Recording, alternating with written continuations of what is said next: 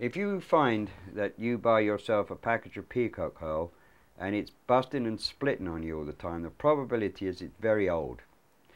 And I would pretty much, if I had that, I, I would dump it. You know, peacock herl should be kind of bright and resilient and, you know, should have a fair amount of strength to it. If it, if it just breaks on you like that, well, get rid of it.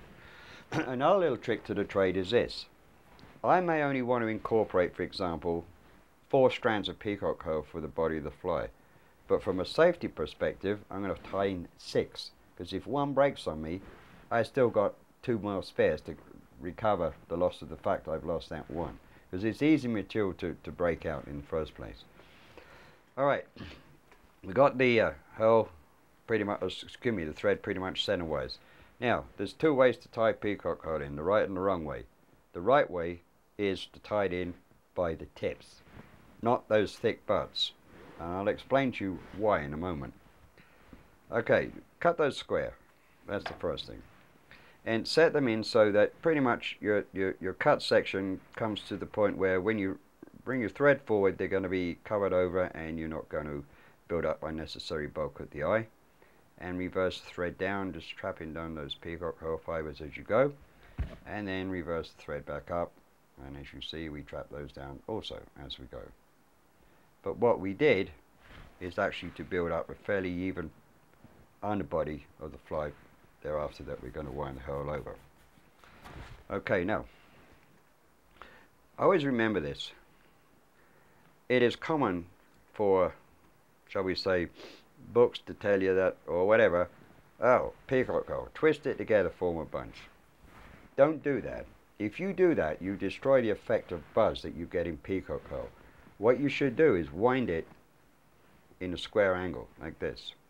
Now, let me explain another thing to you, too. Is that if you tie it in by the tips, as you wind that forward, you're actually pulling those little minute barbs out at right angles to the stem.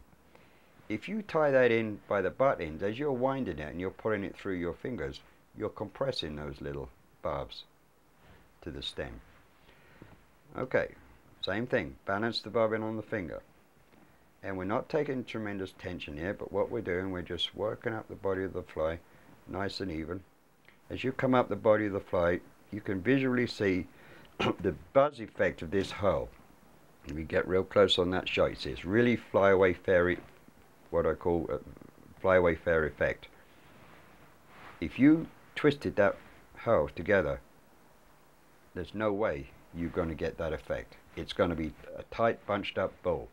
Fine, that's okay for stonefly nymphs and stuff like that, I guess. But, you know, that's not what I'm looking for for the effects of a good uh, wet fly soft hackle body. Same thing applies, you know. If you want to go in the same direction as that you wound the body, that's fine.